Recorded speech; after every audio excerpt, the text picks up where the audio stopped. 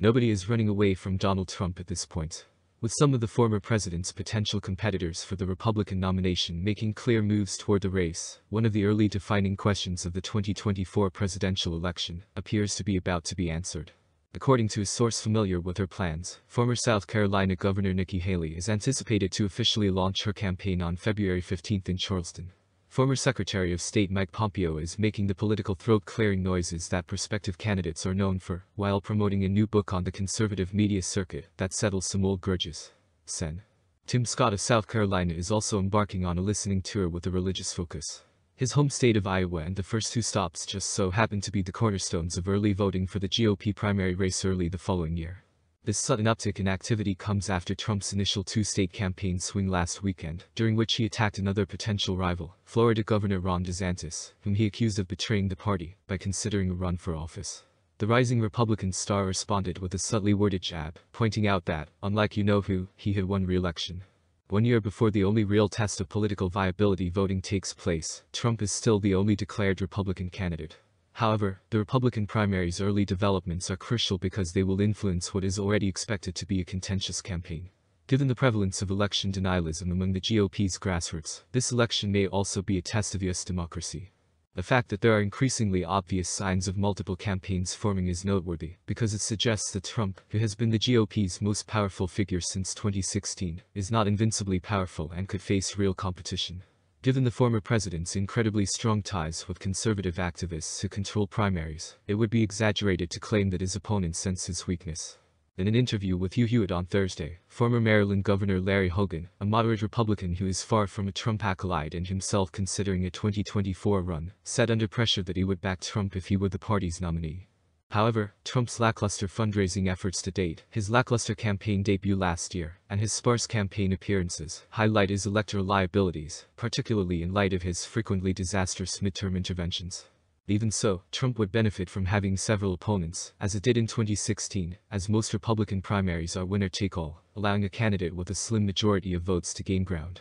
To put it another way, Trump can win the primary if he can divide the opposition, but that doesn't mean he will win the general election, given that the twice impeached former president left Washington in disgrace after attempting to steal an election and inciting a mob attack on the U.S. Capitol. As Republicans consider how to broaden their coalition following their loss in the general election in 2020, Haley's anticipated campaign launch will highlight a political persona with considerable appeal. Haley has an advantage because she was previously the governor of a southern state that may end up being one of the most crucial primary contests, and because her career has long been geared toward a run for president. She would be the first woman to hold the office, which would be historic, and her South Asian heritage might help the GOP regain the support of women and more moderate voters. She gained some expertise in foreign affairs during her tenure as the U.S. ambassador to the UN under Trump. She managed a smooth exit from the Trump administration on her own terms, unlike many of his cabinet members.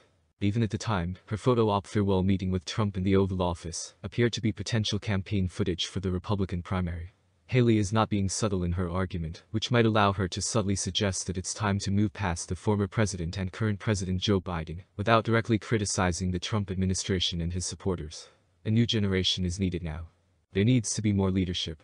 In a recent interview with Fox News, Haley said, We have to keep in mind that we have lost the last seven out of the last eight popular votes for president. We need a Republican who can lead and win a general election, the speaker said. I don't think you have to be 80 to be a leader in D.C., she continued. The most important question Haley will have to answer is whether the Republican base, which has rewarded election skeptics, make America great again extremists, and culture warriors, is even remotely interested in what she intends to sell. When compared to the principles of the party whose nomination she is vying for, her credentials, while impressive on their own, are less impressive. Is there really a demand within the GOP for a more inclusive, diverse, and subdued vehicle to deliver Trump's America First tenet? After all, the ex-bombast, president's infrequent profanity, and laceration of liberal government and media elites create more of an emotional connection with his biggest fans than a direct ideological one. Haley undoubtedly has advantages over Trump in a general election, but she must first defeat him. Haley is susceptible to counterattacks from the former president, focusing on her ambition because of her struggles to reconcile her past relationships with Trump and his more irrational anti-democratic outbursts. She criticized her party for supporting Trump down a path he shouldn't have taken with his election denialism that resulted in the January 6, 2021 uprising, for example, after they parted ways amicably. But she changed her position in October 2021 because Trump was still a significant figure in the GOP. the Republican Party needs him. In an interview with the Wall Street Journal, Haley stated, I don't want us to go back to the days before Trump. Trump is already zeroing in on Haley's concessions after claiming over the weekend that he had instructed her to do it when she had called. He posted a video of Haley declaring on Wednesday that she wouldn't run for office in 2021 on his Truth Social network. Some observers are unsure of the exact strategy the former governor of South Carolina will use to garner a large enough support base to propel her to the GOP nomination.